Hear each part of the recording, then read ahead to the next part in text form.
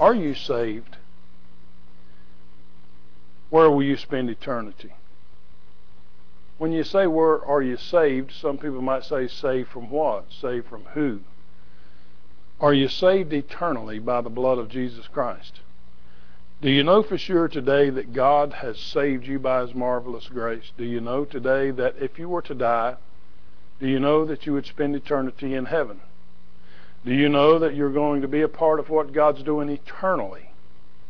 Or will you paying, be paying for your sin debt eternally? That's the question. Where will you spend eternity? And I hope today that you know that you're saved. And what I want to talk to you today is how to know you're saved for sure and know it. I want to talk to you about this this little bulletin that I wrote. It's uh, a track on salvation by grace through faith. And hopefully you'll have one of these as well as the DVD or CD or whatever you're listening to. I want to talk to you from a passage of Scripture found in the book of Romans, chapter number 3. Romans, chapter number 3, verse number 20, uh, verse number 19. Now we know that what things soever the law saith, it saith to them who are under the law, that every mouth may be stopped and all the world may become guilty before God. Therefore, by the deeds of the law, there shall no flesh be justified in his sight, for by the law is the knowledge of sin.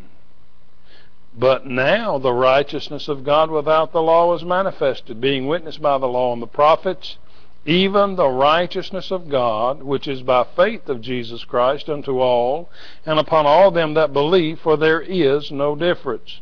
For all have sinned and come short of the glory of God, being justified freely by his grace through the redemption that is in Christ Jesus, whom God hath set forth to be a propitiation through faith in his blood, to declare his righteousness for the remission of sins that are past through the forbearance of God to declare, I say at this time, his righteousness, that he might be just, and the justifier of him which believeth in Jesus.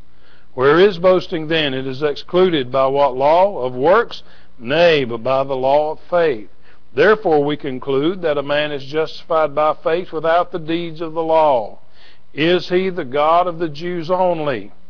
Is he not also of the Gentiles?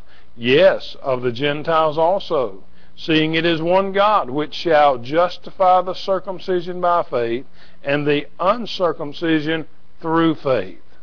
Do we then make void the law through faith? God forbid. Yea, we establish it. And God will add His blessing to the reading of His Word. And I want you to think about that. Are you saved? Where will you spend eternity? Will you spend eternity in the lake of fire? Or will you spend eternity being a part of what God's doing eternally? Will you get to be with Him? Or will you get to be in the place where Satan's going to be? The devil, Lucifer. He's degenerated ever since his fall, ever since he's tried to take and be a part of the ownership of heaven and earth. He's tried to usurp God's authority in heaven. He's tried to usurp God's authority in earth. And ever since that time, he's been in a degenerate stage from Lucifer all the way down to serpent, to the devil, to the dragon in the book of Hebrews. I mean, in the book of Revelation. And then ultimately, he's going into the lake of fire eternally. Will you be with him paying your own sin debt? Or will you allow Jesus Christ to pay your sin debt on the cross of Calvary? He already did. You just have to trust him Believe in Him, and then God will save you, and that Jesus Christ will pay your sin debt, and you won't have to. Friend, if you don't place your faith and trust in Jesus Christ, you're going to have to pay your own sin debt. And the way you get around that is that you trust Jesus Christ, the Son of God. Jesus Christ died upon the cross of Calvary for your sins. I want to put just a little bit of a drawing up here. It's basically just the cross. Jesus Christ died upon the cross of Calvary. He suffered he shed his blood. He died for your sins upon the cross of Calvary, and he died and paid your sin debt, and he was separated from the Father so that you would not have to be eternally separated from God. He was separated for you on your behalf to keep you from being uh, separated from God eternally, to keep you from being in the lake of fire eternally. God loves you. Christ Jesus the Lord loved you so much He died for you upon the cross of Calvary. He died, He was buried, and friend, listen, on that third and glorious day, Jesus Christ arose from the dead. He is put in that old borrowed tomb, tomb hewn out in the rocks, and Jesus Christ was buried there in that old tomb. But thank God on the third day, He arose from the grave. And if you'll place your faith and trust in Christ today, God will save you by His marvelous grace. Now listen to the Word of God. Romans 3:19 Now we know that what things soever the law saith it saith to them who are under the law. What's the purpose of the law? That every mouth may be stopped and all the world may become guilty before God. Do you realize today you're guilty before God today? If you've never been saved by God's grace you're guilty. You're a sinner. You're without hope. I stand before you today I'm preaching from a inerrant book God's perfect word. I'm not perfect on the outside. However, I am perfect on the inside because I've been saved by God's grace. One day I'll have a body that'll be eternal. It'll be a glorified body, and it will be without sin one day when Christ returns to take his people home. Verse 19, Now we know that what things soever the law saith, said to them that are under the law, that every mouth may be stopped and all the world may become guilty before God. Therefore, because of that, the law is given to make you guilty before God. Therefore, on those bases, by the deeds of the law there shall no flesh be justified in his sight. For by the law is the knowledge of sin. The law wasn't given so you could live the law perfect and get to God. The law was given so you'd know. You got to know Adamic nature about you, and you can't be righteous. You can't be perfect in yourself, and you couldn't live good enough to get to God if you wanted to. The law is given so that you might know that you are a sinner. You can't keep it. You know you're unworthy. And God says, therefore, by the deeds of the law, by the deeds of the law, doing the law, there shall no flesh be justified in his sight. You cannot be made righteous in God's sight because you done this or you done that or you kept this or you kept that. You're guilty before God. For by the law is the knowledge of sin. The law is given so that you'll know you're a sinner. Verse 21. But now the righteousness of God without the law is manifested, being witnessed by the law and the prophets, even the righteousness of God, which is by faith of Jesus Christ, unto all and upon all them that believe, for there is no difference. Today, the only way that you can get righteousness, the only way that you can get righteousness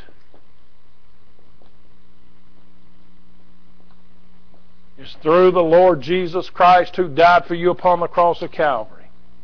The only way you can stand before God in a righteous state is stand before God eternally is to have 100% total righteousness. And to have that, you must be in Christ. You must believe what Christ done for you. But now the righteousness of God is uh, without the law is manifested, being witnessed by the law and the prophets, even the righteousness of God. What righteousness of God? Which is by faith of Jesus Christ unto all and upon all them that believe, for there is no difference. For all have sinned and come short of the glory of God. Do you realize today that you've sinned and come short of the glory of God? You say, not me, preacher. I'm living good. I'm, I'm living right now. Well, what about in the past? You realize it don't take but one sin to make you a sinner? Only one sin will place you in the lake of fire eternally. One. And you've committed a whole lot more than that. The Bible says him that knoweth do good and doeth not him is sin. What about that? God says, the Bible says foolish thought, sin. You ever had a foolish thought? That's enough to send you to the lake of fire eternally. You're not righteous. You're without righteousness, and you need God. For all have sinned and come short of the glory of God. Now listen to verse 24. Being justified freely being made righteous. Justified means righteous. Righteousness. The way you get righteousness is through Christ. Being justified. Being righteousified. We don't have a word in the English language that means righteousified. We don't, it don't say righteousified. It means being made righteous, justified, justification, being made righteous.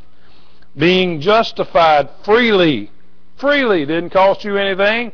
Cost Christ his life. He died on the cross, was buried, and rose again the third day. Over and over, I've said that to you already in the beginning.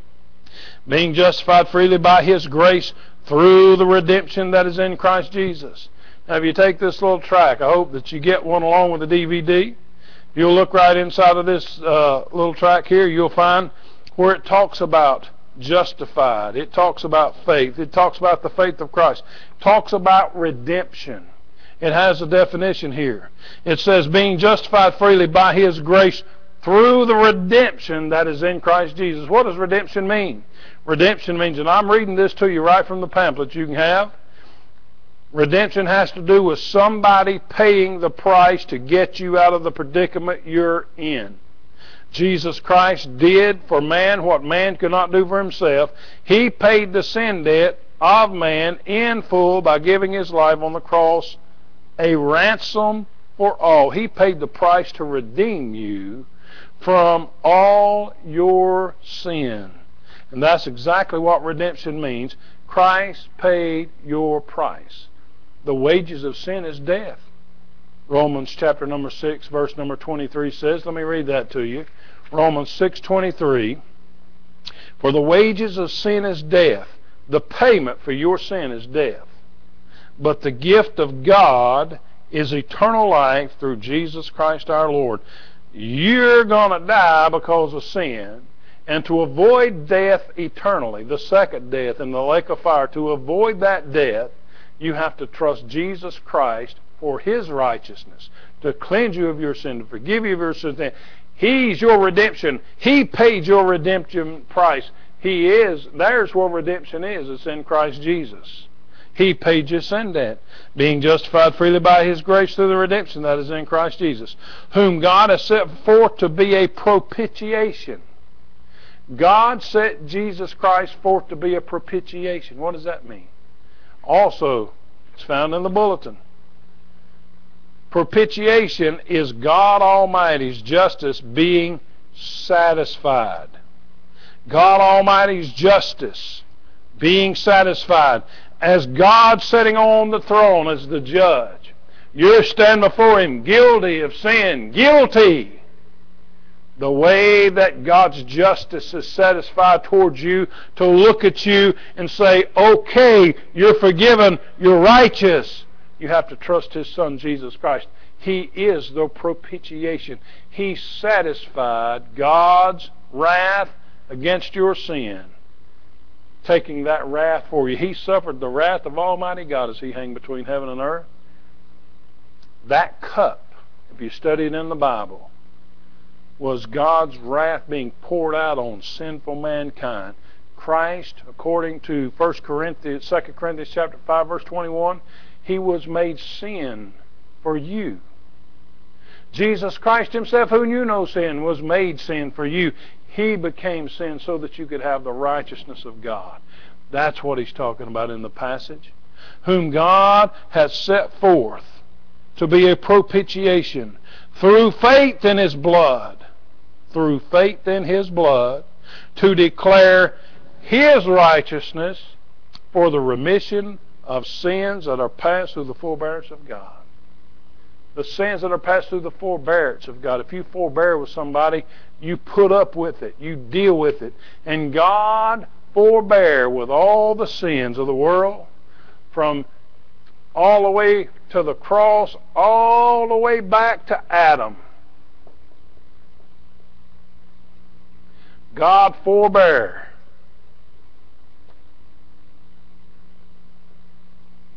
all the sin of mankind back down through time.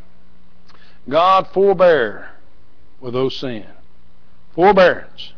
To declare, verse 26, I say at this time, his righteousness, that he might be just and the justifier of him which believeth in Jesus. To declare, I say at this time, Paul doing the writing here in the book of Romans, you're on past the cross out this way now, and Paul says, at this time. And you can actually put that right now is the time where you and I are today. He forbear. And at this time, to declare, I say at this time, his righteousness, his righteousness, that he might be just and the justifier of him which believeth in Jesus. Where is boasting then? Can you stand up and boast about how righteous you are?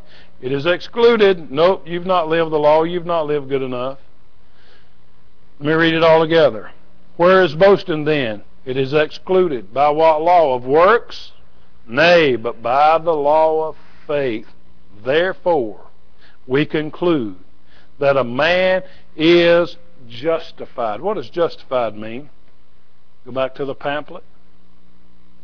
To declare righteous, to pronounce righteous, to regard as righteous. Therefore, we conclude that a man is declared to be righteous by faith without the deeds of the law. My friend, if you'll place your faith and trust in the fact that Christ died for your sins on the cross, He shed His blood for your sins, died, was buried, and rose again the third day, when you believe that and you place your faith there eternally, God will save you by His marvelous grace. He'll cleanse you of all your sin, past, present, and future and He'll save you by His marvelous grace. And you can have the righteousness of God. Therefore, you can be with God eternally with what He's doing eternally. You won't be in the lake of fire burning and paying your own sin debt because you've trusted one who paid your sin debt for you. You either trust Him or you pay your own. It's pretty simple to be saved by God's grace. Is He the God of the Jews only, verse 29? Well, you've heard about the 12 tribes of the nation of Israel. You've heard about the church, the body of Christ. Maybe you hadn't. Maybe you think today at Pentecost that uh, all the 12 tribes became all of us. Maybe that's where a lot of misunderstanding about the God's Word comes into play. I'm going to do a second message behind this one, but you'll have to get another disc for it. The 12 tribes of Israel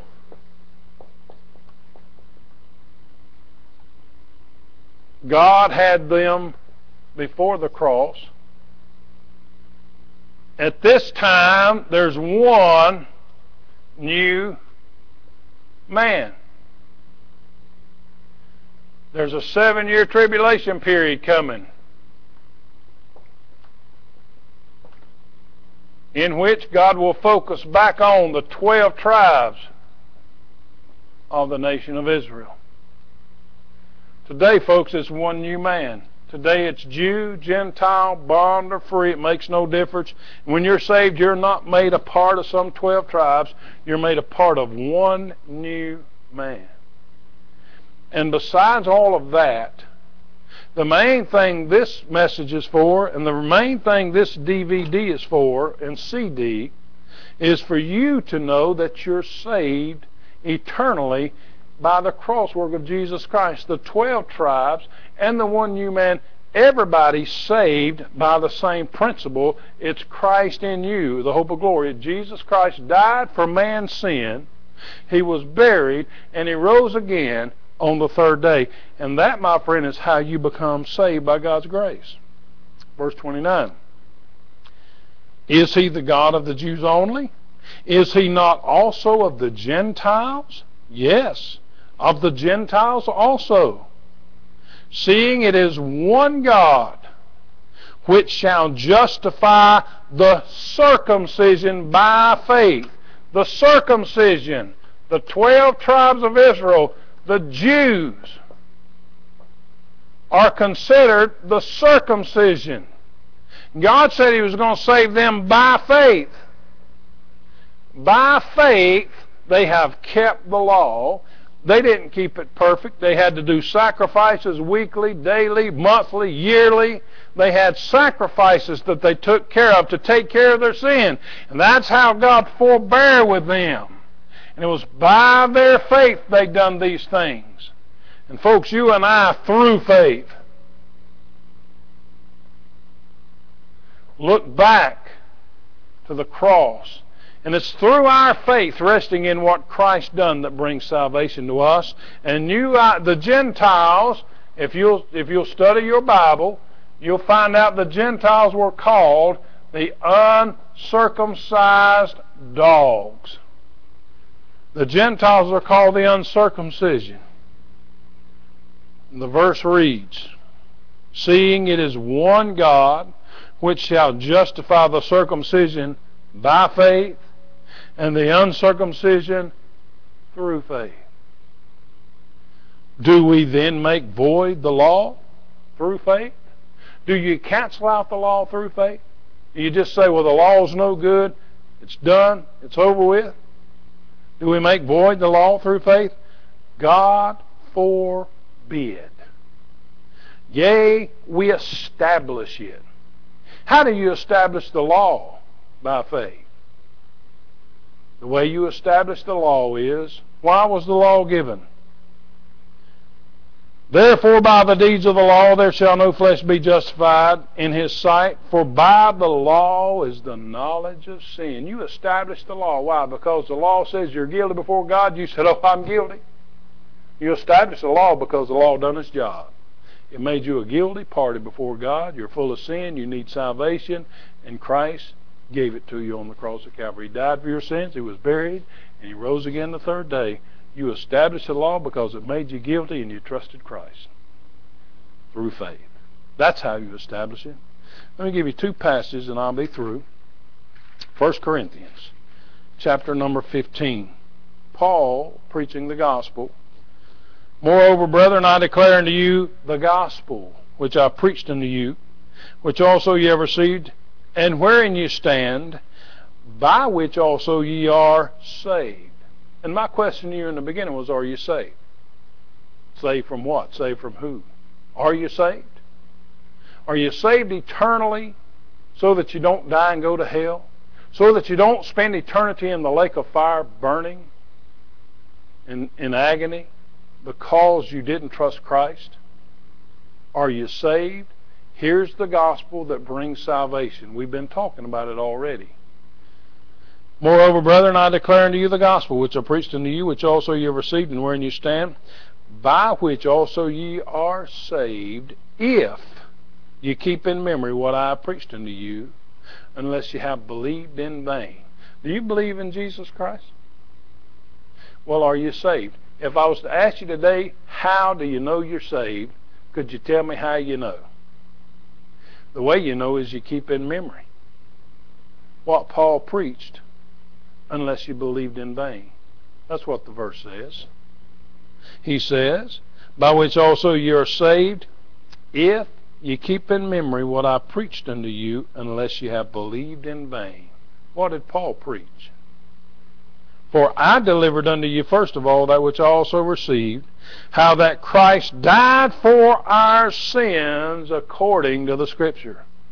He didn't die in a car wreck. He didn't die by getting his head chopped off. He died according to the Scriptures. He died upon the cross of Calvary. He died for your sins. He shed his precious blood. He was buried and he rose again the third day. That's what these verses say. The gospel. That you're to trust, that you're to believe for salvation. For I delivered unto you first of all that which I also received, how that Christ died for our sins according to the Scriptures, and that he was buried, and that he rose again the third day according to the Scriptures. Jesus Christ paid your sin debt. He shed His precious blood on the cross of Calvary so that you could have God's righteousness placed to your account. And when you trust Jesus Christ, thank God, you believe He died for your sins, you believe He was buried, and you believe upon that third and glorious day, Jesus Christ arose from the grave. That's the gospel message that you're to believe and how you're saved. Now, watch what the book of Ephesians says happens when you do that. Ephesians chapter 1 verse 7 in whom we have redemption. You remember we talked about redemption earlier. It's in the pamphlet here. In whom we have redemption through his blood. The forgiveness of sins according to the riches of his grace. Verse 13. in whom, the Lord Jesus Christ, ye also trusted to hope in advance of other confirmation. All you have is God's Word on it that Christ died for your sin, was buried, and rose again. And you trust God's Word by faith that Christ done that for you. You say, I don't know about that. How I know God exists. Well, God the Father, God the Son, and God the Holy Ghost is in creation. It's in the universe. And Romans 1.20 says if in this, not in these exact words, but this is what it says, because of the manifestation of the eternal Godhead, God the Father, God the Son, God the Holy Ghost, in creation, man will be without excuse. If you don't see God in creation, you'll be without excuse. You know that? How many joints you got in your finger? Well, three of them. God the Father, God the Son, God the Holy Ghost. How many joints you got in your arm? God the Father, God the Son, God the Holy Ghost. You're made up of flesh, blood, and bone. You're made up in the Trinity of God, in the Godhead. For light in this universe, you have the sun, the moon, and the stars. All the animal, all the life on planet Earth is animal life, plant life, and mineral life. You got three forms of life. Tell you, if you don't see God in creation, you'll be without excuse.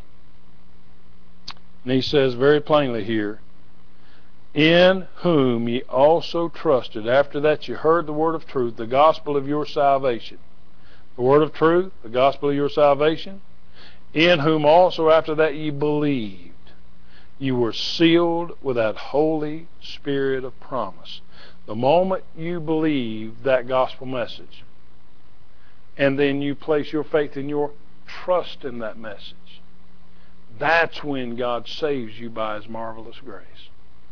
When you by faith believe and trust in the cross work. Verse 14, which is the earnest of our inheritance it's the down payment to our eternal inheritance, being saved and having His righteousness eternally. Not having to be in the lake of fire eternally, but to be a part of what God's doing eternally by our faith resting in His Son Jesus Christ, which is the earnest of our inheritance until the redemption of the purchased possession. You're bought and paid for when you by faith trust Christ and believe in what He done. You're a purchased possession under the praise of His glory. When is the redemption? When does the redemption take place? Before that seven year tribulation period, God's body, the one new man, the body of Christ, is going to hear a trumpet sound. You've probably heard it called the rapture. Christ will step out on the clouds and he'll call us home, and the church, the body of Christ, will go out to meet the Lord in the air, the dead in Christ will rise first, then we which are alive remain and be caught up together with them in the clouds to meet the Lord in the air, and so shall we ever be with the Lord. 1 Thessalonians chapter 4, verses 13 to 18. That's when we're called out to meet the Lord in the air, and so shall we ever be with the Lord. That, my friend, is the day of redemption. And the moment you believe that Christ died for your sins, was buried, and rose again the third day, God, by His Holy Spirit, seals you by His Holy Spirit until that time we go out to meet the Lord in the air. God saves you eternally by His marvelous grace. Trust Christ and be saved, will you? And I hope that you'll take this message, this DVD, CD, and you'll take this pamphlet, and you'll by faith trust in the Lord Jesus Christ as your Savior. Trust Him today.